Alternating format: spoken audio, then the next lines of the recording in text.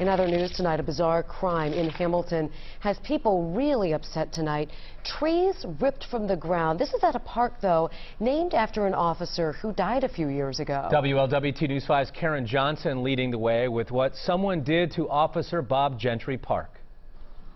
Newly planted trees uprooted from the ground leave circles of dirt patches to surround the play area. For crying out loud. Of all the parks in the city, this is the last one Steve Murdoch would have expected anyone to mess with. We try to look out for each other and we're trying to, you know, get the neighborhood programs going. And to come in and do, I mean, it was senseless. On top of that, this park is named after Officer Bob Gentry, who for 50 years served the community. Up until he died in 2012, this park is where he built magical connections with children through Safety Town. If you got a mean old dog coming at you, everybody growl like a really mean old dog.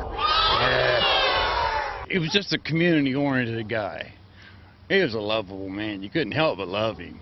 When the park was dedicated to him in July, family and friends presented Hamilton Safety Council with a $10,000 check to keep the park looking pretty.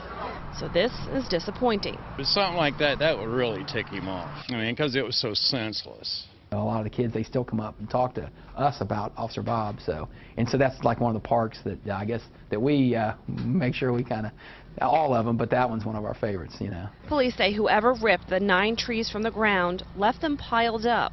And they left one. And so I don't know why, if that's it where that tree was planted, why they didn't get to the end of it, or they just left that one up because it was in a spot they didn't mind. So um, we're not really sure right now. And police aren't sure why anyone would do this either. Right now, the uprooted trees are being cared for by folks at the Greenwood Cemetery's nursery, but they all probably won't make it. In Hamilton, Karen Johnson, WLWT News 5.